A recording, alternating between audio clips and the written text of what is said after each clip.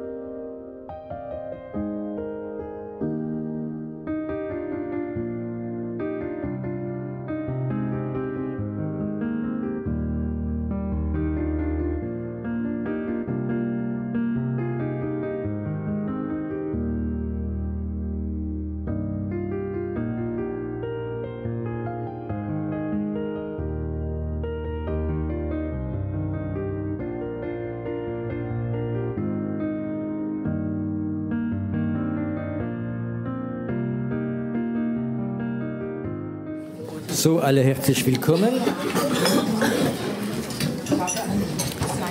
So wie die, wie wir die Rücken gerade drehen, dürfen sich auch umdrehen.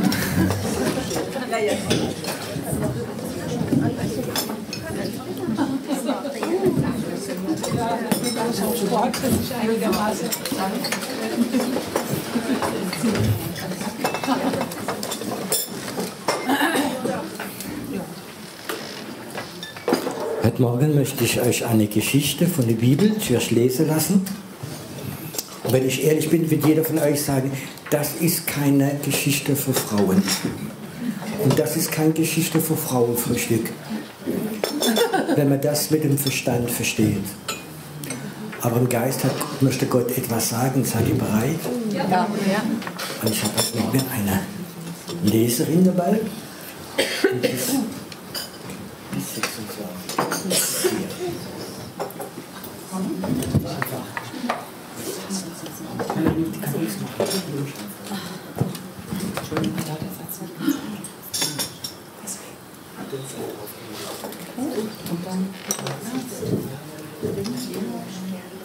Ja, jetzt. Äh, Soll ich hier setzen? Ich stelle mich hin. Josua aber sprach: Öffnet den Eingang der Höhle und bringt jene fünf Könige aus der Höhle heraus zu mir. Und sie machten es so und brachten jene fünf Könige aus der Höhle heraus zu ihm. Den König von Jerusalem, den König von Hebron, den König von Jarmut, den König von Lachis und den König von Eglon. Als sie aber diese Könige zu Josua herausgeführt hatten, rief Josua alle Männer Israels zu sich und sprach zu den Obersten des Kriegsvolkes, die mit ihm gezogen waren, Kommt herzu und setzt euren Fuß auf den Nacken dieser Könige. Und sie kamen herzu und setzten ihnen den Fuß auf den Nacken. Da sprach Josua zu ihnen, Fürchtet euch nicht und verzagt nicht, seid stark und mutig. Denn so wird der Herr an allen euren Feinden handeln, gegen die ihr kämpft.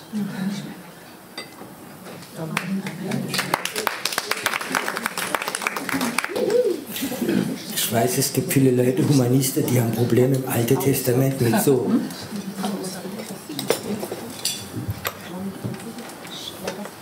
So, wenn alle ruhig seid, mache ich weiter. Und viele Menschen, die einen humanistischen Geist haben, haben Probleme damit, mit so Geschichte. Ah, das ist grausam und, und Töte und, und alles Mögliche. Aber wenn du die Geschichte ein bisschen kennst, ist interessant, weil Gott hat dem Josua gesagt, du wirst mein Volk von Ägypten, von der Wüste rausbringen und du bringst sie in das gelobte Land Kanaan. Kanaan ist ja im Grunde genommen Israel. Und es ist Israel und ich glaube, das ist so das, das Land, wie Gott ihm geben möchte. Und dann sagt er ihm, sag aber in deinem Volk, dass du nicht dieses Land bekommst, weil du toll bist, weil du heilig bist oder das bist. Du ich bekommst dieses Land, weil ich beschlossen habe, die Einwohner von diesem Land zu vertilgen. Und in diesem Land gab es viele Könige, kleine Könige, die haben so sechs, sieben, acht, neun Städte gehabt. Und das war ein Land, wie total dämonisch belastet war. Beispiel, es gab die Anakiter, das sind Leute gewesen, die Riese waren. Und in der Bibel, Riese sind immer, wenn Frauen mit Dämonen sexuell geschlafen haben und haben Kinder bekommen. Und da hat es Riese gegeben und das war in Gottes Auge ein Graul. Und er wollte diese Riese, so wie Goliath einer war, wegmachen. Das war für ihn, weil die hat die ganze Bevölkerung vernichtet mit diesen Sachen. Dann gab es andere Könige, die haben ihre Kinder als Brandopfer den Dämonen gegeben.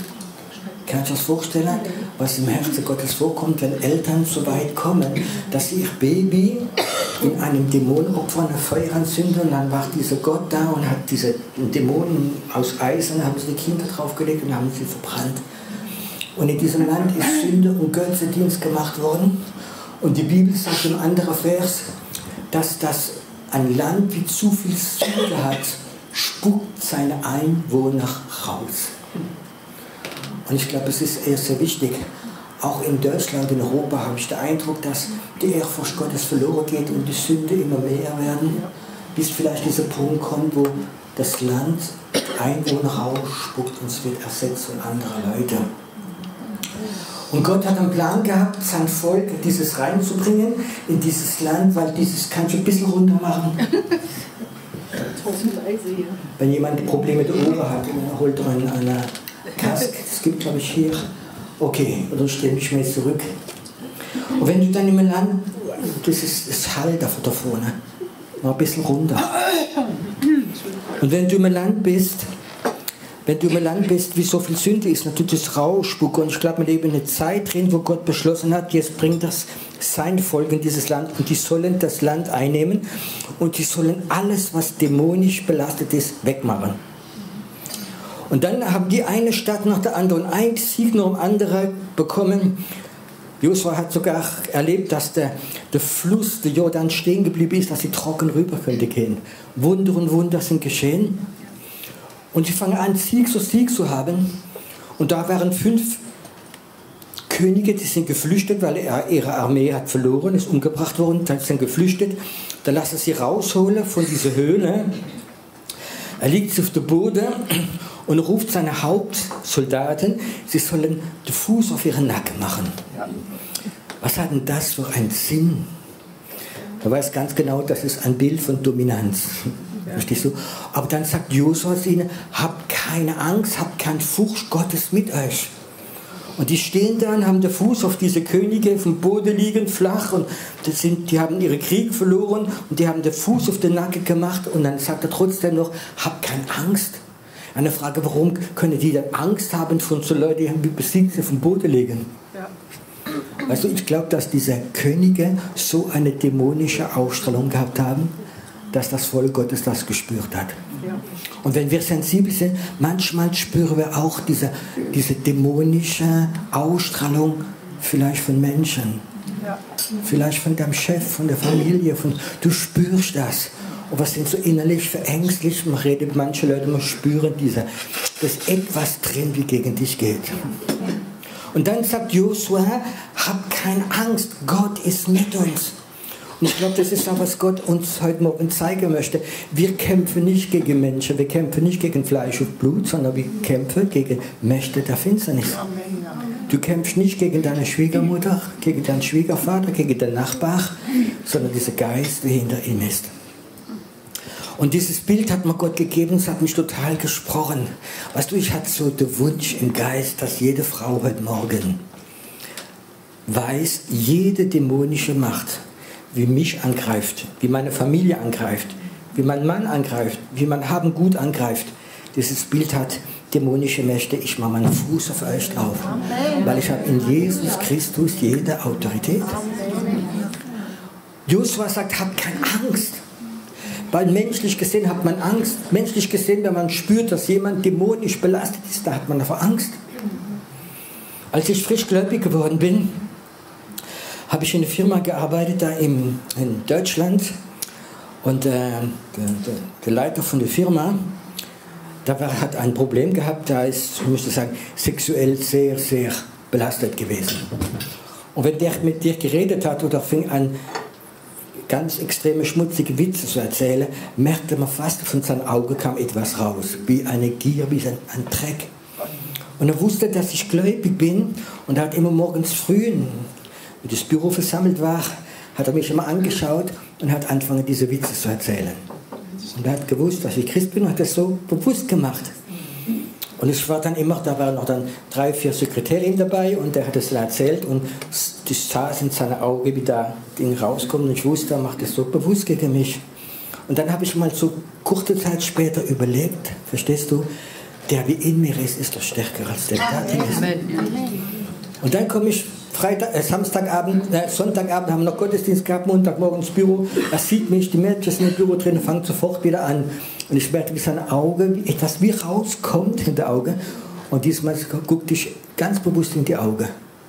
Erzähl nur, der wie immer ist stärker.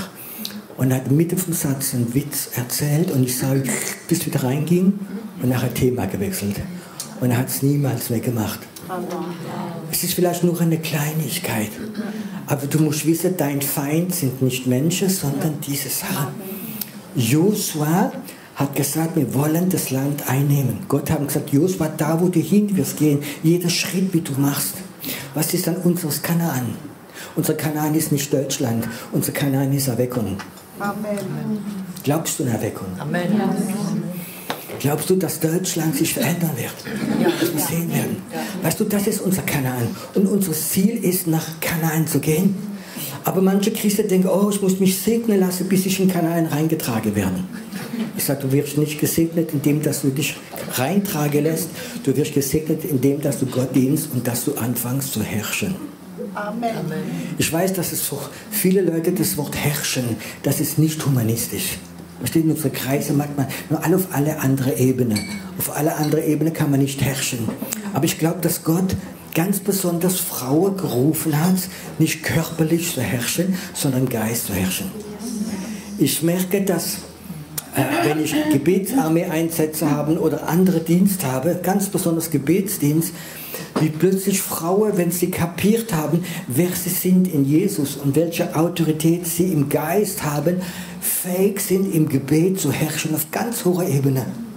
Wenn du Frauen wegnimmst von der Klagemauer und sagst ihnen, du bist nicht berufen, eine Klagemauer, sondern du bist berufen, deinen Fuß auf deinen Feind, auf den Nacken zu machen, im Geist, dann wirst du sehen, wie du eine andere Ebene kommst. Und du wirst Richtung Kanaan, Richtung Erweckung gehen. Ich habe so den Eindruck, dass die, die, in der Gemeinde Jesus ein ganz großes Teil der Frauen in diesem seelischen Ebene geblieben sind. Und die seelische Ebene war öfters auch christlich, religiös. Du Frau musst dich unterordnen, du musst dich so und so anziehen, du sollst nicht so viel reden, du sollst, wenn es geht, noch schweigen, du sollst das und jenes machen, du sollst einen Dienst machen und, und Männer leiden das. Weißt du, Männer, wie kein Geist haben, ist nicht, ist Luft.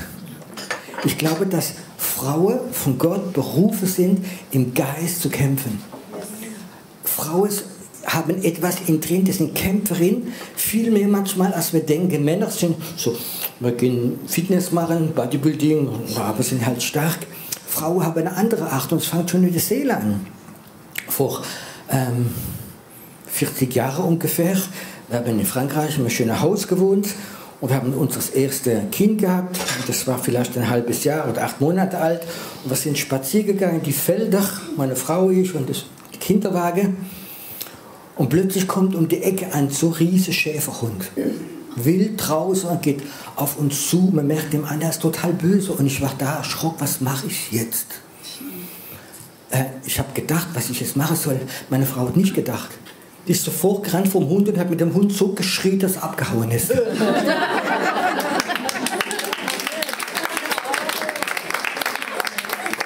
Warum hat sie das gemacht? Sie hat nicht gedacht, verstehst du? Es ging ums Kind. Diese Mutter. Weißt du, Mütter, wenn es ums Kind geht, sind so, können so Kämpferin sein. Und das ist nur die seelische Ebene. Aber es gibt eine andere Ebene, ist die geistliche Ebene. Und wenn Frauen anfangen im Geist zu herrschen, und es gibt so viele verschiedene Arten. Wir haben, er hat in unserer Gemeinde drin ein, ein Ehepaar. Und dann gab noch der Mann Zeugnis, die Frau auch. Und die waren zehn Jahre verheiratet und hatte schon zwei Kinder. Und äh, dann hat sich herausgestellt, dass der Mann pädophil ist. Und hat viel Geld ausgegeben für kleine Jungs. 12, 13, 14 hat sie bezahlt. Und ich weiß nicht, was du vorstellen kannst. Die, sie haben in einem kleinen Dorf gewohnt, sie haben ein eigenes Haus gehabt, sie waren anerkannte Leute. Jetzt hat der Mann auch seine Frau bekannt, es stimmt, ich bin pädophil. Ich weiß nicht, was einer Frau so vorkommt. Scheidung, hm. dann habe ich kein Geld mehr, ich arbeite nicht, das Haus gehört meinem Mann, was denken die anderen, ich verliere vielleicht die Kinder, Katastrophe. Und sie hat sich nicht scheiden lassen, so ein paar Jahre gelebt. Und dann hat sie Jesus gefunden. Sie hat sich bekehrt. Und dann hat sie etwas gemacht, wie er niemand gesagt hat. Aber manchmal gibt der Geist in unserem Geist so Dinge rein. Und dann erzählt sie mir, wenn ich meinem Mann nur das Wort Jesus gesagt habe, wurde böse. Und sagt, ich habe nichts gesagt, kein Wort mehr, aber ich habe jeden Abend, so dass ins Bett gegangen ist, meine Hand aufs Kissen gelegt und dann gesagt, der wie die Gedanken gibt, ich zerbreche sie. Und ich segne dieses Kissen. Nach drei Wochen ist er frei gewesen. Er ist selbst ein Befreiungsdienst, in den Predigtdienst reingegangen. Ich kann das sagen, diese geistliche Kraft hat es gemacht.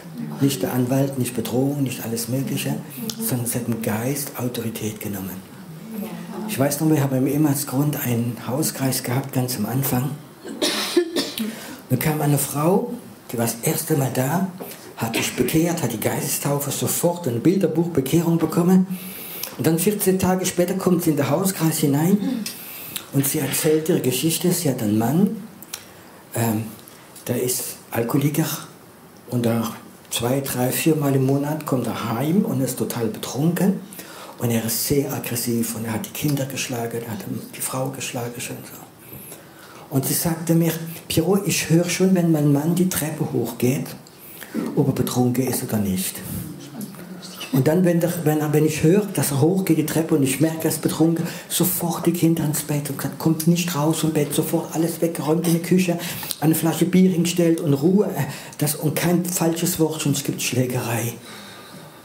Und dann plötzlich hörte der Mann raufgehen, betrunken und plötzlich weiß nicht, sagt etwas hat mich, ich kann es gar nicht sagen, warum. Plötzlich sage ich, Teufel, du wirst meinen Mann nicht mehr beherrschen und ich habe keine Angst mehr von Alkohol in Jesu Namen. Und sie sagte, der Mann schließt die Tür auf, geht rein, sagt guten Abend, guckt das Bier an, sagt nichts, geht ins Bett und schlaft und kein Mucke gemacht, gar nichts. Und sie hat gesagt, weißt du, ich habe gemerkt, ich habe Autorität über diesen Geist des Alkohol. Wenn du wiedergeboren bist, musst du noch etwas wissen. Josua hat in seine Kriegshelte gesagt, glaubt es, habt keine Angst, Gott ist mit euch. Gott ist mit uns.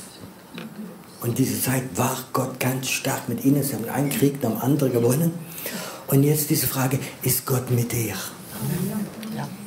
Hast du diesen Glauben, dass Gott mit dir ist?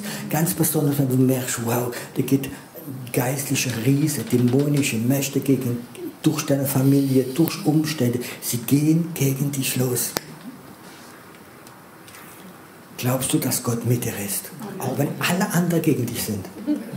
Verstehst du? Wenn du das nicht glaubst, dass Gott mit dir ist, nicht mit dir ist, dann musst du nicht anfangen zu herrschen. Da kannst du an Kla die Klagemauer gehen, zum Seelsorger und kannst pinseln. Aber wenn du glaubst, dass Gott mit dir ist, wenn du glaubst, dass Gott mit dir ist, dann hast du Autorität und du wirst herrschen mit Jesus in der unsichtbaren Welt, sagt die Bibel. Ich habe einen Wunsch. Mein Wunsch ist, heute Morgen, dass du im Geist über diese dämonischen Mächte, die du vielleicht sogar kennst, so im Geist einen Fuß auf den Nacken machst und sagst, weißt du was, ich herrsche und ich stehe über dir. Im Namen Jesus, weil Gott mit mir ist. Und weißt du was, so werden wir Kanaan beherrschen. Es hat nichts mit Gefühlen zu tun, es hat nichts mit Power zu tun, sondern es hat etwas mit tun mit Glauben. Ich erzähle euch eine letzte Geschichte, die hat mich sehr bewegt, ein Zeugnis. In England hatte eine kleine Gemeinde, die waren so 20, 25 Leute, ein paar Jahre lang. Und Gott hat zu ihnen gesprochen und er hat gesagt, ich rufe euch zu herrschen. Ich rufe euch Erweckung.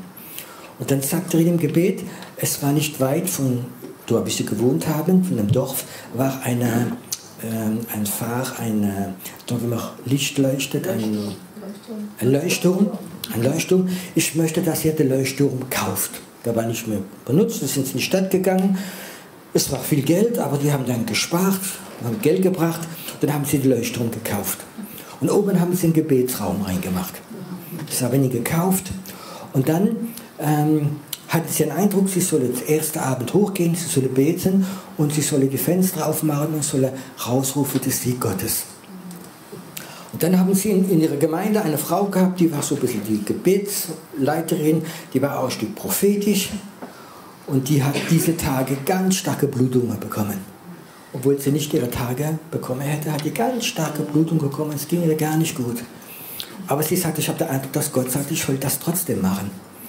Wir haben drei oder vier Brüder, haben sie hochgetragen, weil sie nicht mehr laufen konnte.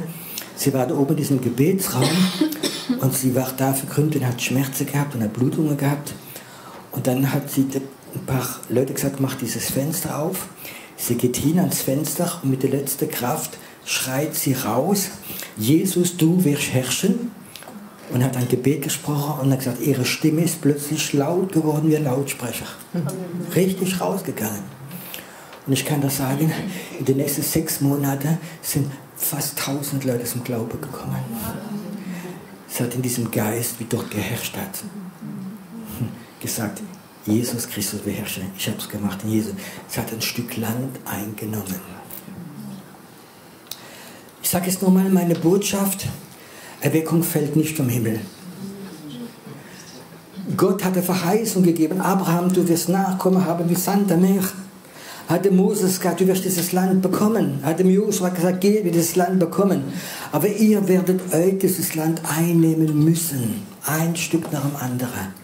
Und sie haben einen Sieg nach dem anderen gehabt, aber sie mussten kämpfen. Sie sind nicht allein weggegangen. Sie mussten sie rausschmeißen, wie Jericho und die ganze Städte, und sie haben das Land eingenommen.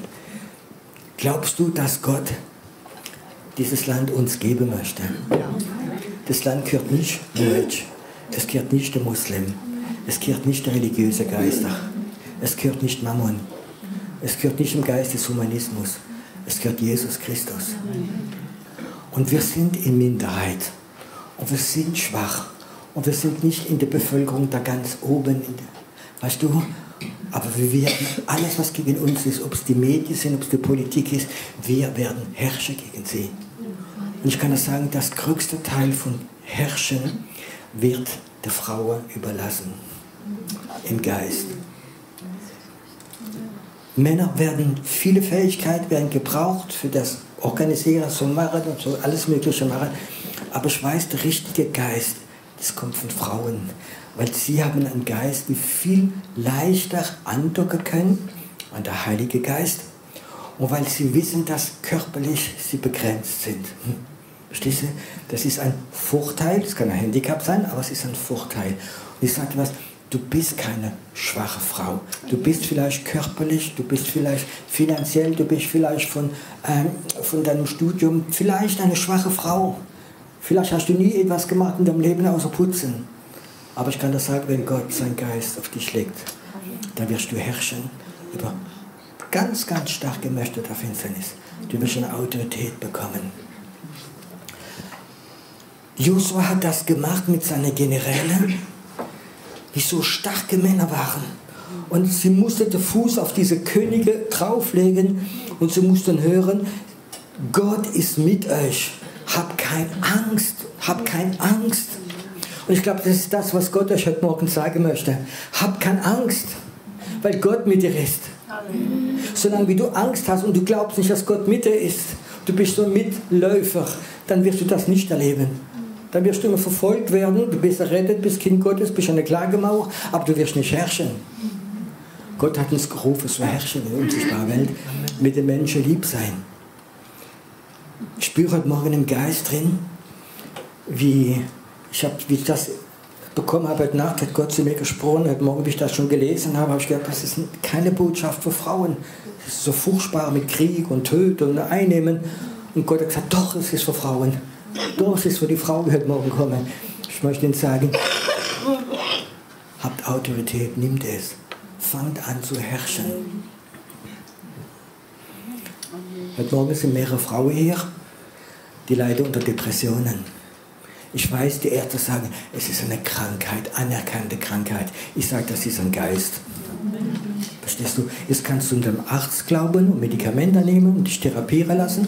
Oder du kannst sagen, nee, ich werde es lernen zu herrschen. Diese Depression, die kommt in mein Leben nicht mehr rein. Und weißt du, wenn du gelernt hast, gegen deine eigenen Depressionen zu herrschen und du hast diesen Geist besiegt, weißt du, was passieren wird? Du wirst eine feine geistliche Schnuppernase bekommen von Leuten, die Depressionen haben. Weißt du, es gibt Leute, äh, die haben Depressionen und wenn du sie siehst, auf der Party, die sind öfters die beim Leist am lautsten krölen wie trinken und tanzen und hupfen alles Mögliche. Und wenn sie zu Hause gehen, brechen sie zusammen, die Depressionen sind da. Und niemand kann sich vorstellen, dass der oder die depressiv ist. In Deutschland gab es sogar einen Fußballspieler für die Nationalmannschaft, der hat sich unter Zug geschmissen. Stehst du? Hat Millionen verdient, bekannt gewesen überall, aufgrund von seinen Depressionen.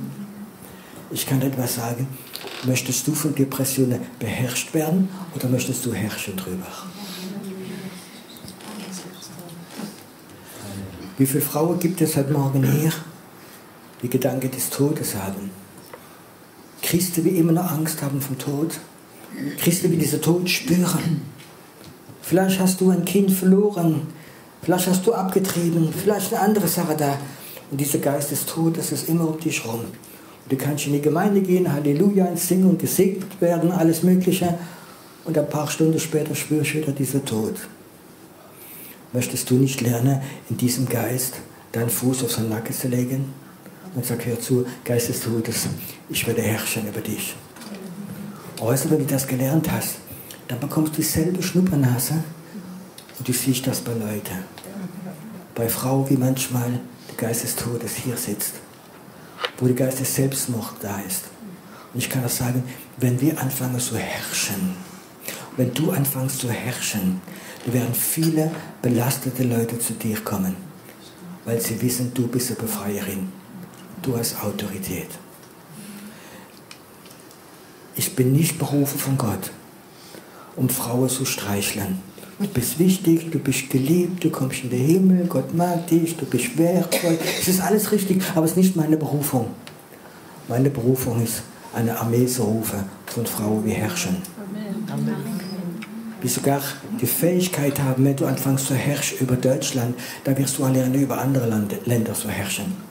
Wir sind berufen, im Gebet zu herrschen. Ich weiß, es ist nicht für jeder. Vielleicht gibt es einige Leute da, die sagen, ja, nein, das ist nicht mein Sache. Ich möchte Christ sein, auch Christ sein. Es ist okay. Es ist nicht für alle. Aber ich weiß, dass Gott heute Morgen viele Frauen ruft. Zu herrschen. Autorität zu nehmen nicht auf die Gefühlsebene zu gehen. Das ist ein bisschen dieses Negative oder diese ähm, Gefährliche bei Frauen, dass sie öfter so Gefühle, ich fühle mich nicht, hör auf, ich fühle mich nicht wichtig, ich fühle mich nicht schön, ich fühle mich nicht geliebt. Vergiss das. Herrsche, du wirst, du wirst dich besser fühlen danach. Weil es ist deine Berufung. Deine Berufung ist, du bist nicht berufen, gesegnet und so gestreichelt zu werden, sondern du bist berufen, das Land einzunehmen. Amen. Ich möchte sehen, Ich möchte sehen, wie Deutschland Kanaan wird. Ich möchte sehen, einen Tag, wo ich mit 50 oder 100 Frauen in die Stadt Musbach gehe, nach Heilbronn gehe, in die Städte reingehe und sage und proklamiere, diese Stadt gehört Jesus Christus. Und jede dämonische Macht wird die Kniebeuge vor Jesus Christus. Ich möchte sehen, wie ganze Städte dämonisch belastet, wie diese dämonischen Mächte weggehen, weil sie es nicht mehr aushalten, weil sie die paar verrückte Frauen wie Herrchen Geist merken, die sind stärker als ich. Vor vielen Jahren haben wir eine sinnsamen Evangelisation gemacht. Und ich weiß noch, ein junger Mann von uns, von unserer Gemeinde, war dabei. Da kommt er ganz aufgeregt auf mich zu, sagt, Piero, Piero, komm mit, komm mit. Ich habe eine, die berühmte Wahrsagerin äh, getroffen davon, habe sie angesprochen. Die hat sogar im, im Radio gesprochen. Die verlangt, glaube ich, ein paar hundert Euro pro Sitzung und ist sehr, sehr bekannt. Kannst du kommen? Und ja, die Frau war so weiß nicht, 50 Jahre alt, super gut angezogen, hat gemerkt, von reichen Frauen, gut so, selbstbewusst. Und ich habe gerade, es war Sommer, kurze Hose, Birkenstock an, verschwitztes T-Shirt. Und ich laufe dann zu dieser Frau, sage guten Tag, dann guckt sie mich an und sagt, ihre Geist ist stärker als meine und ist weggelaufen. Amen. Ja, das ist so. Weißt du, und das, was sie gesagt hat, würdest du dir auch sagen, wenn du glaubst, dass Gott mit dir ist. Ist Gott mit dir? Das ist so meine Frage. Ist Gott mit dir? Hast du das Bewusstsein, auch wenn du gesündigt hast, auch wenn du Fehler gemacht hast, auch wenn du Charakterschwäche hast, auch wenn du vielleicht etwas Schlimmes gemacht hast, ist Gott trotzdem mit dir? Das ist so diese Frage. Ist Gott mit dir? Dieses Bewusstsein, dass Gott ist mit mir, Gott hat mich berufen, Kanaan, das Land einzunehmen. Meine Berufung ist, dass Deutschland Erweckung erlebt. Meine Berufung ist, dass die Schweiz Erweckung. Meine Berufung ist da, wo ich bin, das Land des Kanaan wird, dass ich das Land einnehme. Und wenn Riese aufstehen, werde ich auch Riese bekämpfen. Wenn du schlechte Nachricht bekommst von dem Arzt und du spürst diese Riese, wie kommt, was machst du dann? Rufst 50 Leute an, betet für mich? Oder sagst du Geister Angst? Hau ab. Ich mache meinen Fuß auf den Nacken. Ich möchte die, dieser Gott wie heilt anrufen. Er ist mein Gott. Ich gehe meine Berufung hinein. Und wir sehen, wie die schrecklichen Nachrichten wirklich gut werden. Weil Gott mit dir ist. Gott ist mit dir, aber ist auch hier heute Morgen. Amen. Wollen wir einen Moment aufstehen? uns vor dieser Gott stellen.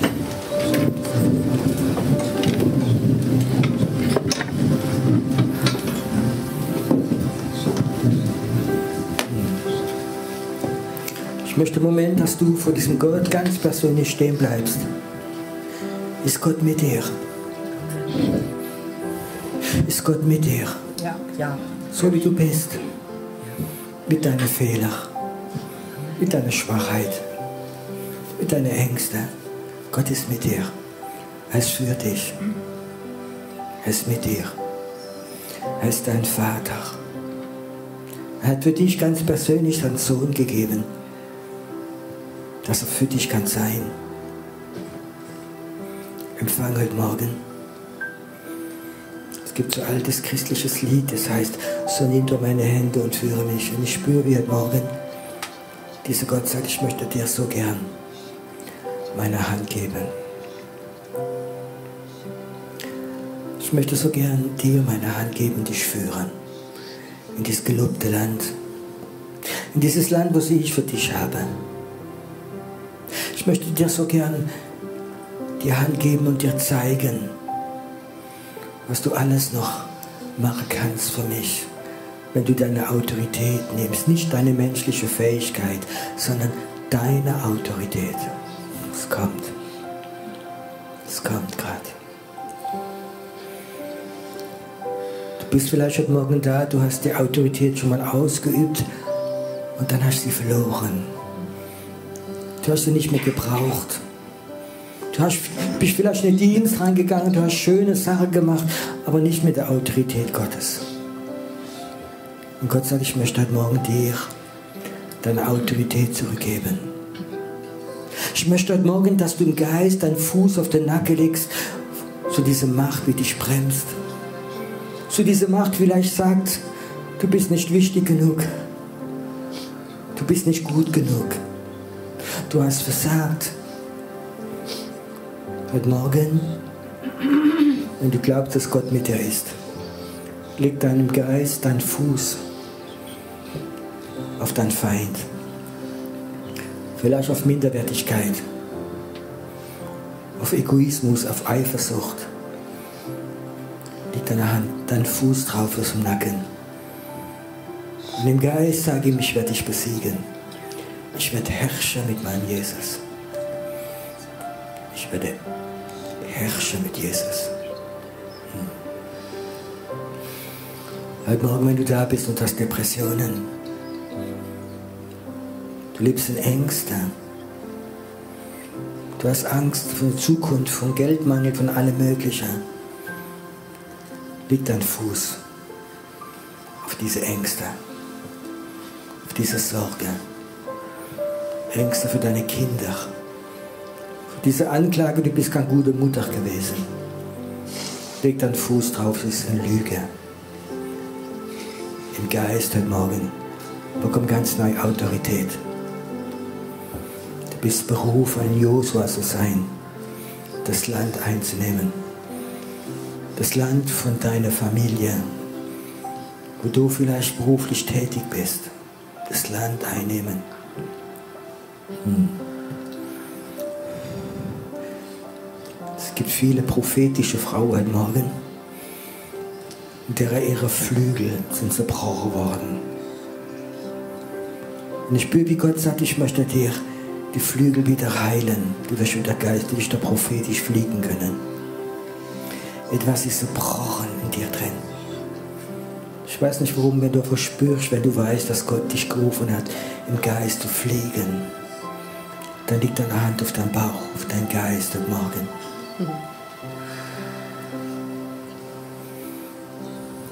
Ist so wie Gott sagt, ich heile deinen Geist und Morgen. Da wird was zerbrochen worden ist, durch Anklage, soll geheilt werden. Du bist berufen von Gott, eine prophetische Frau im Geist zu sein. Du bist berufen von Gott hoch zu fliegen und zu herrschen. Du wirst herrschen über jeden Geist, wie deine Kinder bedroht, wie deine Engel bedroht, wie deine Enkel bedroht. Du bist berufen zu herrschen. Ich heile dein Geist, sagt der Herr. Da, wo deine, diesem Adler die Flügel zerbrochen waren, auch von geistlichen Leiter, wo es ein Stück von deiner Persönlichkeit zerbrochen hat. Weil diese prophetische Berufung hat etwas mit deiner Persönlichkeit zu tun. Gott sagt, ich heile dich. Du wirst deinen Weg wieder gehen. Auch als Frau. Und du wirst dann nicht mehr reinreden lassen von religiösen Leuten, was du machen darfst, was du nicht machen darfst.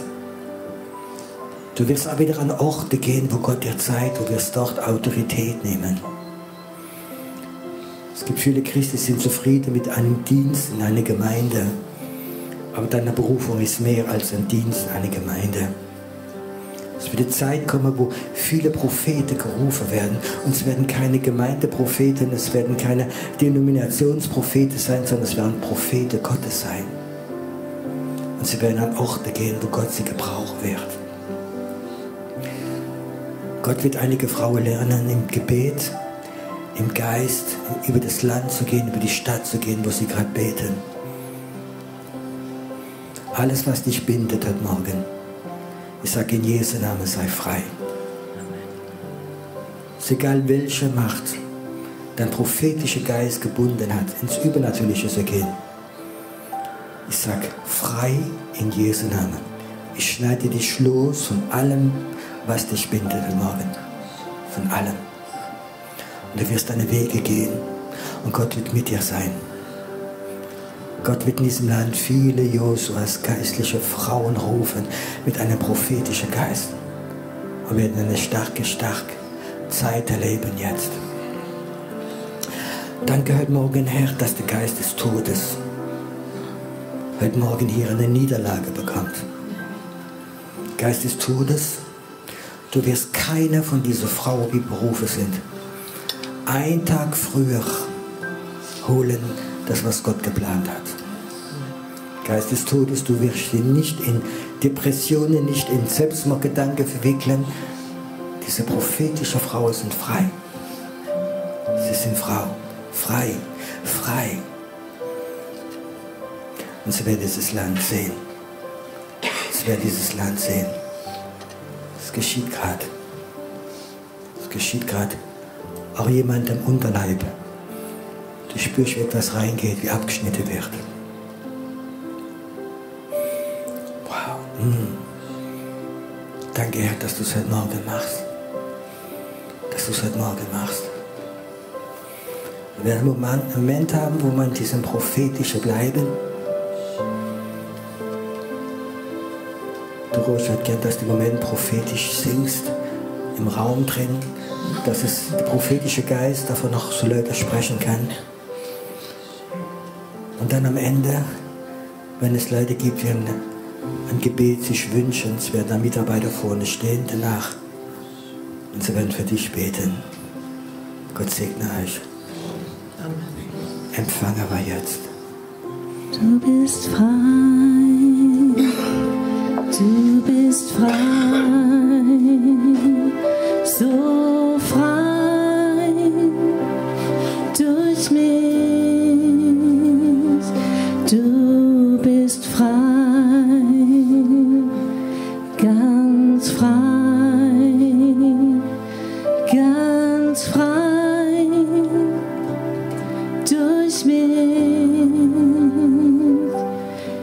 Du bist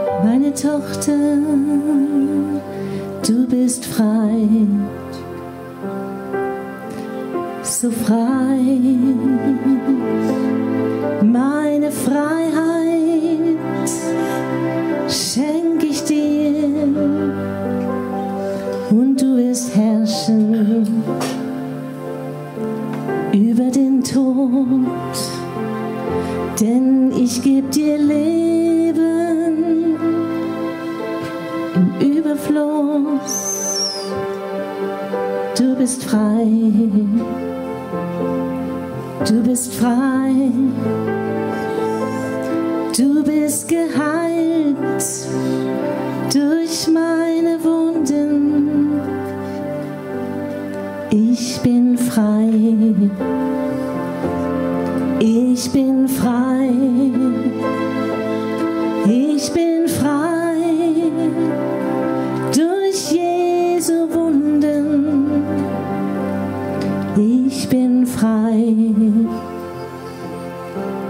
Ich bin